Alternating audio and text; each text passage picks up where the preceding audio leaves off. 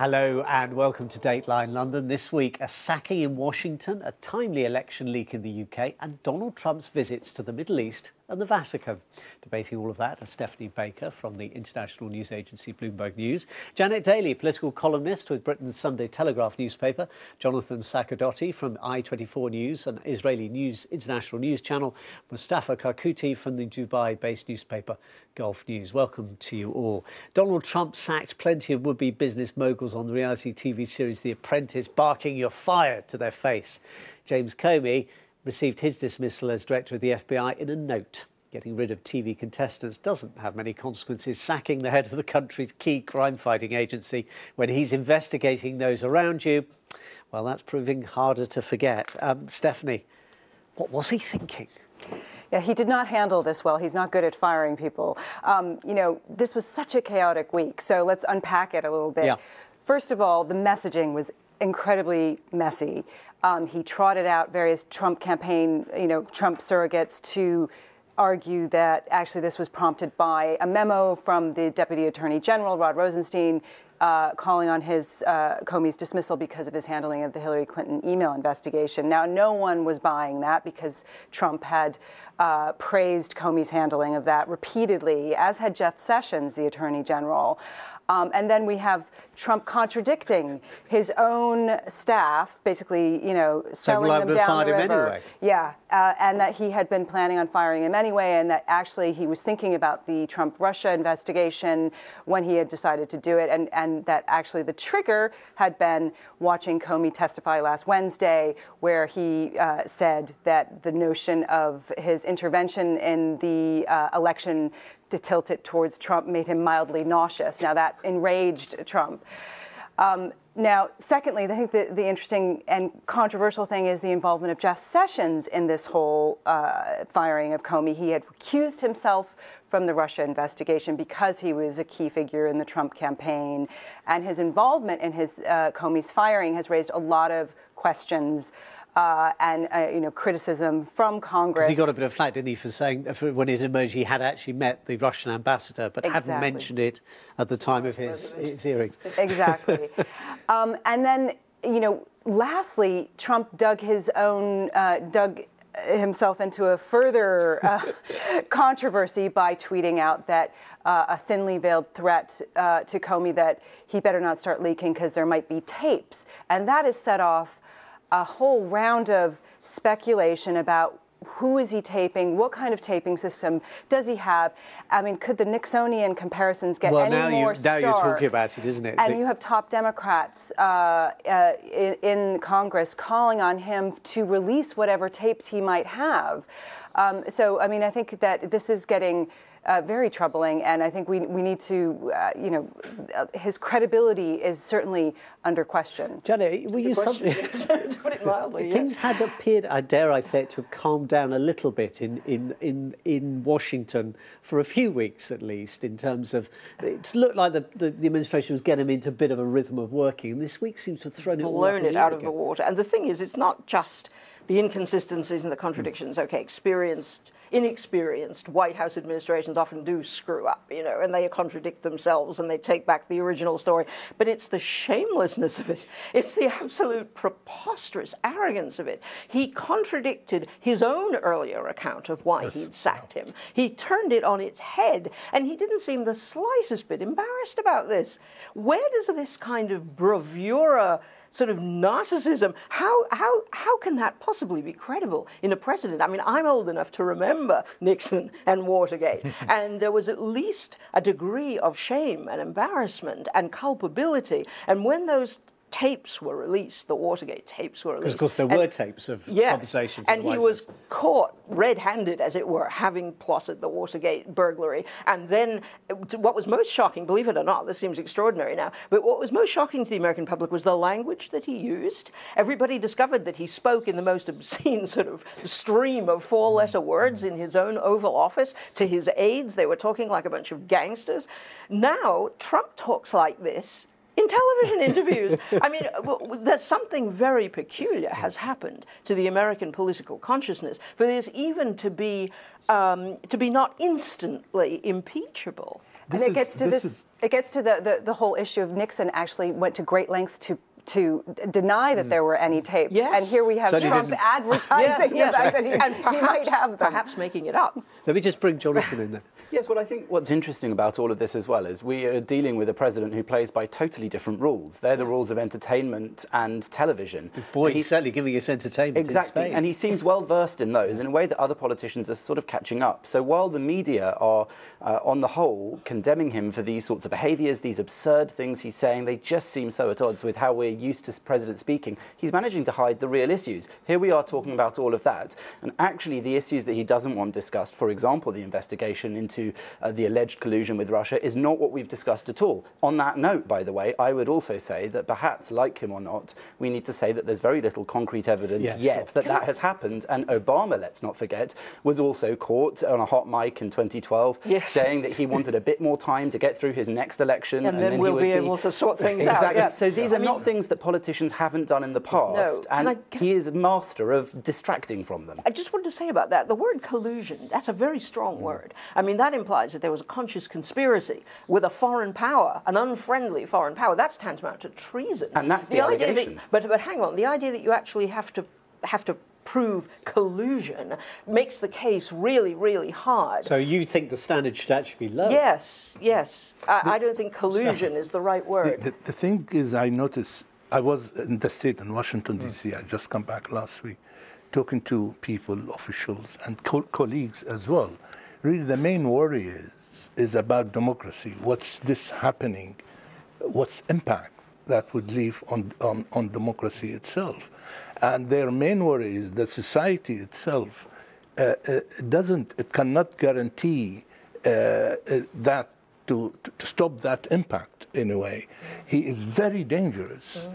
They are really scared and frightened by him. This is really testing, you know, U.S. institutions I, I, and the Constitution. But I think in that respect as well, he is democratically elected as of their course. president, even if people around this table might not like him. And he is also following procedures. Other people have been fired in the same role. Uh, it wasn't well, that long one. ago that we were only hearing. One, one okay, but we were hearing Democrats accused of fiddling his expenses and his tax. There we go. He's gone through a process which has, has precedent, and yeah. he is also somebody that uh, Comey is somebody that the Democrats not that long ago wanted to be fired and, for his part in the Hillary Clinton controversy. a little bit awkward on this, haven't they? Because they've gone from saying this man was, uh, uh, you know, yeah, responsible for through the yes. election. To mm. one Democrat told me, he, well, he's a, uh, uh James Comey's a bit of a Boy Scout. I thought, yeah. well, hang on a minute, those yeah, two things. That's not what you want at the head of the FBI. I mean, the, the thing is that it it's difficult for the Democrats agreed, uh, agreed because they've said previous, you know, unfortunate things about him in the past or disfavorable things. But in a sense, you could read their their interpretation of this as, as having considerable integrity. You could say, even though they've got a grudge against him and they've got grounds for objecting to him, they don't like the way this has been done. I mean, that is a legitimate thing to say. And the issue, of course, is the timing. Why did he decide to do yeah. it now? If it was really about the Hillary Clinton yeah. email yeah. investigation, why didn't, should, it, why didn't it happen? And, and, there, and there is, it, it apparently is the case that Comey was about to ask for more resources to pursue the Russia connection you know, for his investigation. I should imagine this is probably a weekend when uh, Donald Trump is quite glad to be getting out Washington and getting out the country altogether, Mustapha, because he's heading for the Middle East. That's right. Um, Peaceful by comparison. Doesn't, this, this doesn't help him because it distracts him, presumably, from what is something much bigger and arguably with much greater consequences. I wonder from where you sit whether people are viewing this as a serious attempt to move the process forward in terms of the Israel, Israeli and the Palestinians, or whether it's just a bit of a bit of international diplomatic theatre. No, it is serious, extremely serious. That's what I hear really from the Palestinians and also from the Americans themselves. Uh, but at the same time, being in that uh, uh, shaky position internally, domestically, uh, I don't know how much that would yes. impact on on his, his international uh, activities and policy. But uh, he's very serious. He has been talking to Mahmoud Abbas, the Palestinian uh, president of the authority, Palestinian Authority. And uh, Abbas people are saying that uh, he is very optimistic. Uh, apparently, he did tell Abbas that he was serious about the question of pressing on uh, Benjamin Netanyahu to come forward and sort this out. Because, you know, at the end of the day, there is an agreement, there is an agreement between the two sides on the future, but the Israelis are hesitating in moving there. Jonathan, uh, just on the, the question of the Israeli position, Benjamin Netanyahu, who has been the dominant player in Israeli politics for well over a decade now, but he is still only the head of a coalition government, mm-hmm. partly because of the electoral system Israel uses. Is he strong enough? Is he in a strong enough position to take some kind of initiative? Well, historically, it has been right wing Israeli prime ministers and administrations which have actually managed to make peace deals with Arab neighbours. So, in that respect, I think there's plenty of optimism around. And I think Donald Trump uh, really puts forward a new window of opportunity for both sides. It seems that both uh, leaders have visited him in DC, and both have come out of that surprisingly saying that they got on very well with him, including Abbas, who came out and said that there seemed to be uh, some area for development. And that's surprising because everyone assumed that Donald Trump would be firmly on Israel's side. I think that what Donald Trump now has to do is exactly what we've been discussing about him before. Turn this from being a show and from being the art All of about the him. deal. exactly. This is the man who prides himself on making Yeah. deals. This is the ultimate deal, he says, and turn that into concrete action. He's done the first step, in a sense, by making both sides like him, something Obama failed to do over eight years. Obama really put a lot of pressure on Israel, asking for preconditions that the Palestinians requested, such as freezing of settlement building, which is something that was unprecedented, and Israel agreed to. That was unsuccessful. If anything, it emboldened the extremists on the Palestinian side. And, The uh, and Trump, sorry, uh, just to, to complete it, Trump has instead managed in 100 days to get both sides favourable towards him and to perhaps uh, consider new negotiations. Now, if talks took place, Mustapha, the issue has always been uh, in the past they've been hobbled by preconditions. Are there going to be just a fresh set of preconditions? Because that's the point where people say, well, we've been here before so Well, many times. Pre- preconditions are really used in order not to take action. It is a tactful thing, ridiculous in a way, because the whole plan is quite clear. There was Oslo about 20 years ago. They agreed, both sides, they sat together, they agreed on a peace plan. There were so many other meetings following that. Yeah. But it is the right wing government in Israel which is really putting these obstacles. The settlement question is very serious. Well, I think there, there's an argument up. that it's No. not. I mean, also No, no, the Palestinian is. Authority uh, is paying the murderers of people like Hannah Bladon, the British student who so was stabbed the on a Israeli tram. government is and paying indeed, also uh, the soldiers, uh, uh, soldiers who engage in, in warfare Yeah, according to course, that's- international norms. that's- that's but people who stab British students, Christian British students on Yeah, yeah, trams you are not necessarily necessarily peacemakers. These are little issues. These are not. not so little uh, for the families who lost who lost No, people no, in yeah, terrorist know, attacks, and and similarly on the other side, not little for the Palestinians who lost people But you in see, they military are, action. they are wrongly used, in fact, to, to create obstacles in the front of peace.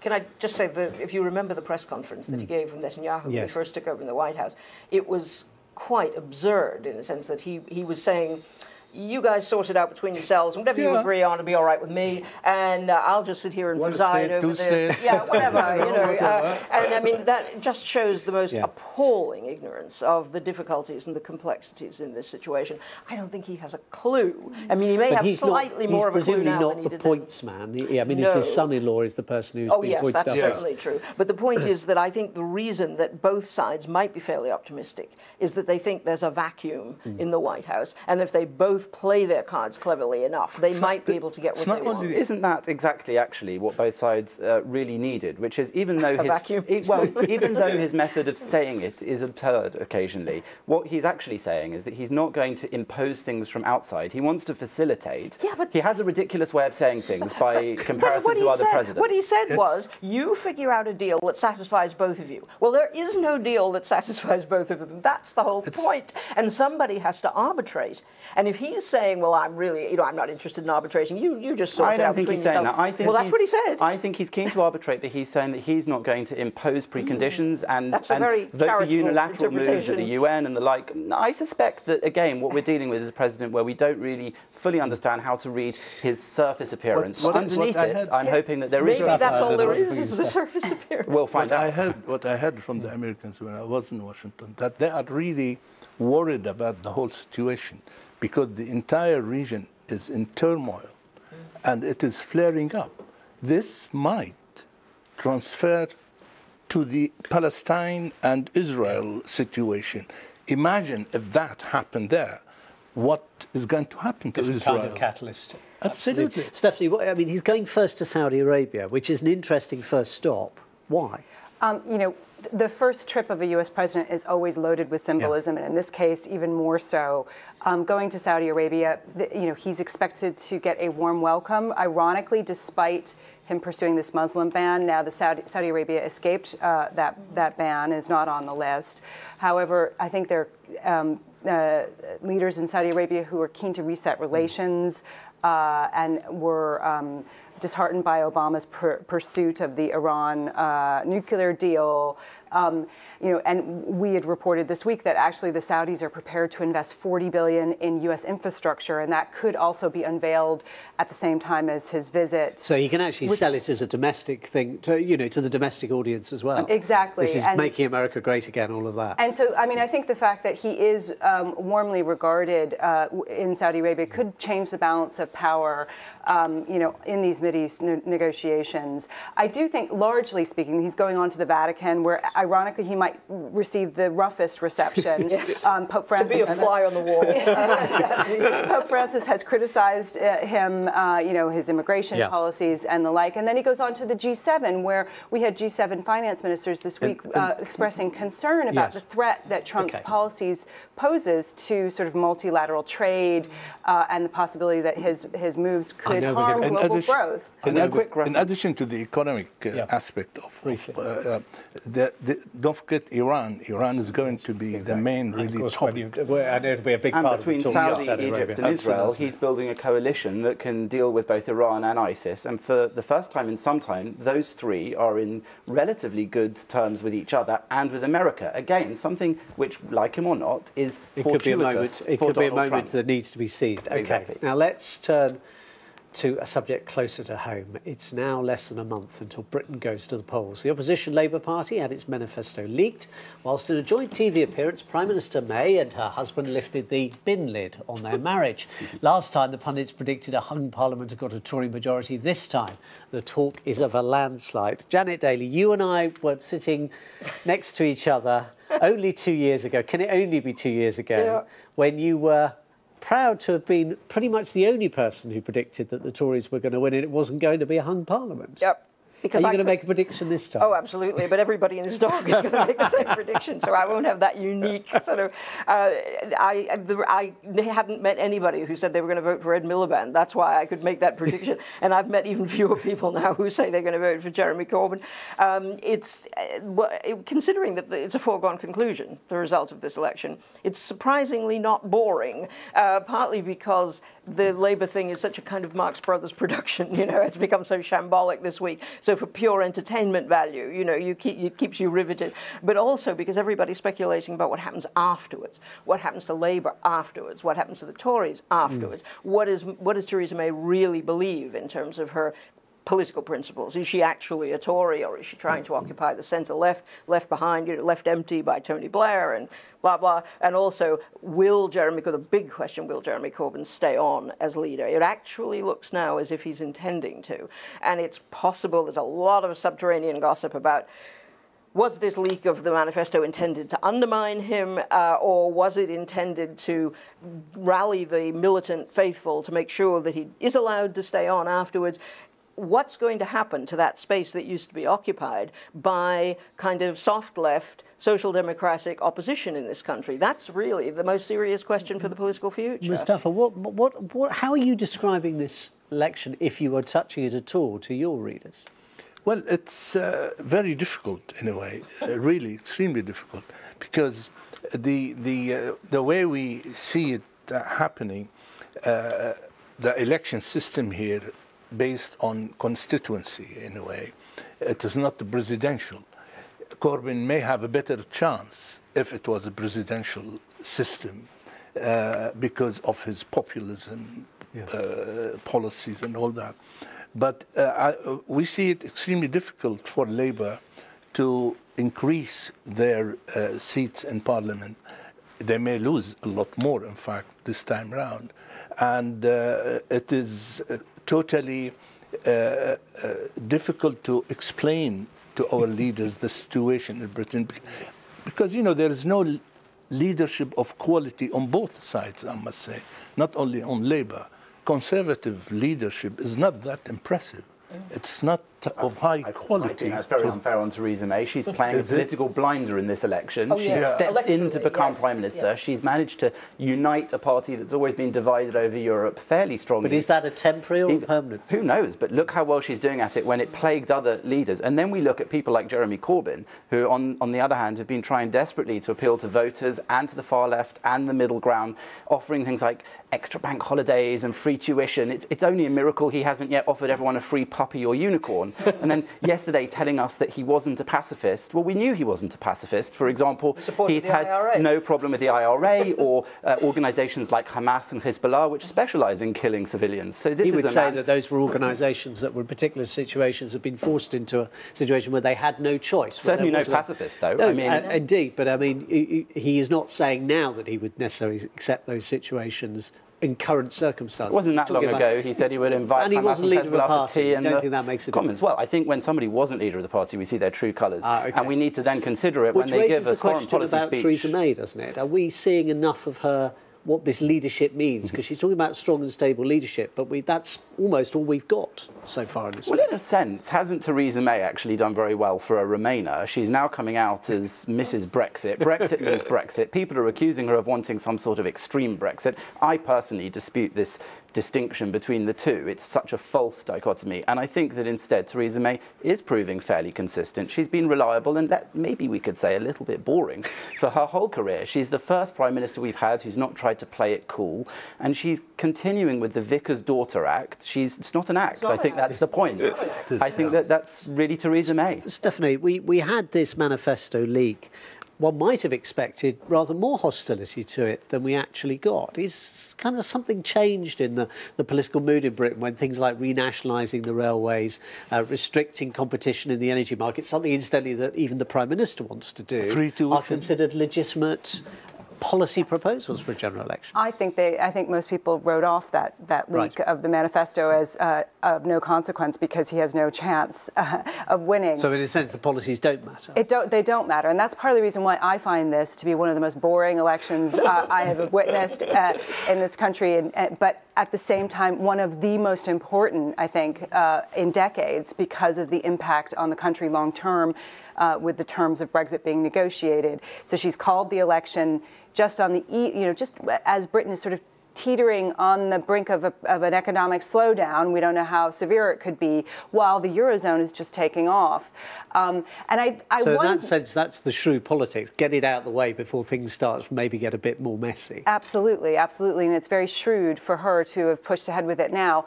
Um, and I do wonder how much of a large. I mean, it's it, the reason why it's boring is it's just going to confirm the status quo. So the only question is how big of a majority will she get?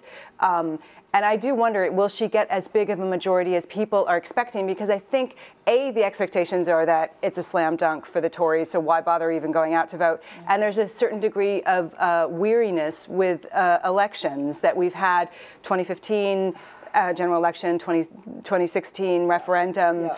um, and, and, and that the turnout could be very difficult to I- predict. I would be inclined to agree with that under any other circumstances. But the referendum politicized the country in a peculiar sort of way. People are politically hyperactive, and they're not.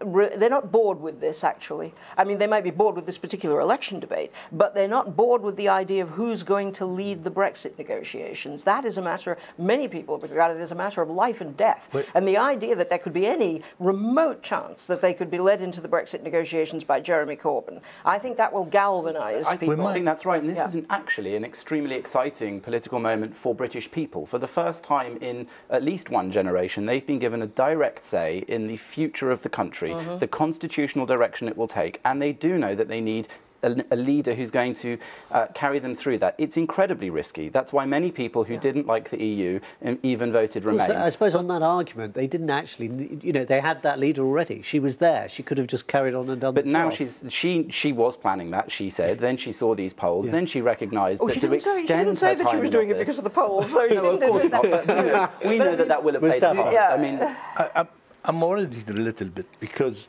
uh, we shouldn't really ignore the young generation. I have uh, three kids. They all think different to my thinking, and they are pro Jeremy Corbyn. They are pro. And will they actually go out and vote? They will, no doubt, as I will my, myself.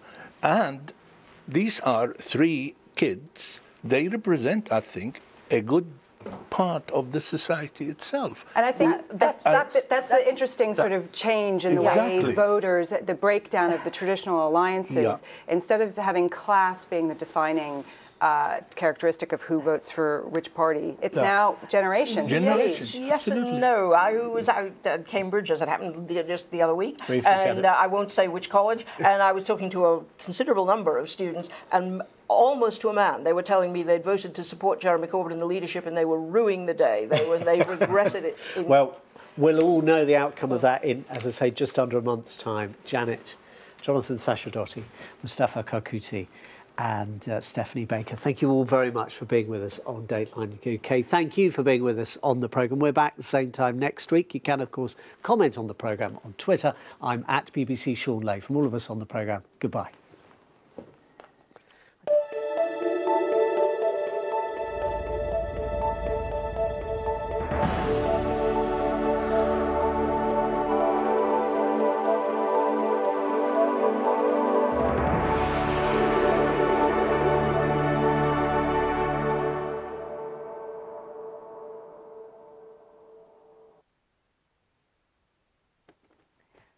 There. It's not plain sailing weather-wise